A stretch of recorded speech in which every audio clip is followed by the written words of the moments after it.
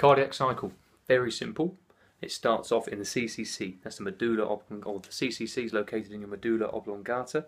It goes down the CCC, it sends a message along the sympathetic nervous system. As soon as that impulse hits the SA node or the sinoatrial node, that then fires an atrium across the two atria. Okay, this impulse causes them to contract, and once that impulse reaches the AV node, okay, or the atrioventricular node, it pauses just for that slight second. In that slight little pause, the atrium contract, eject all of their blood into the ventricles, and allow the semilunar valves to close up, so no backflow of blood occurs.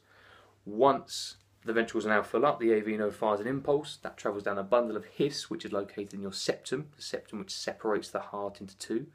Goes down a bundle of His into the Purkinje fibres, which sort of nestle around the base of the heart.